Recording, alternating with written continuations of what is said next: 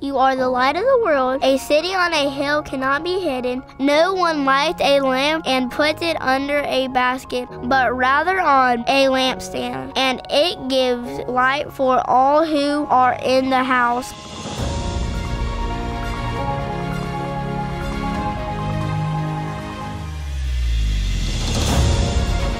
In the same way, let your light shine before others so that they may see your good works and give glory to your Father in heaven.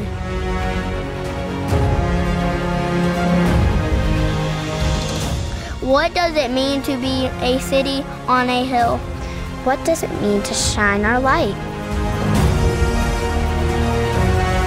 People are hurting all around us. They are lost and in the dark. But the good news of Jesus is like a bright light. When we follow Jesus, that light inside us can shine through what we do. It cuts through the darkness and can't be put out. By loving and serving others, we can carry the light to our city and to our school and everywhere we go. TCC kids are on mission to carry our light in Winston-Salem and shine in dark places. Will you join us?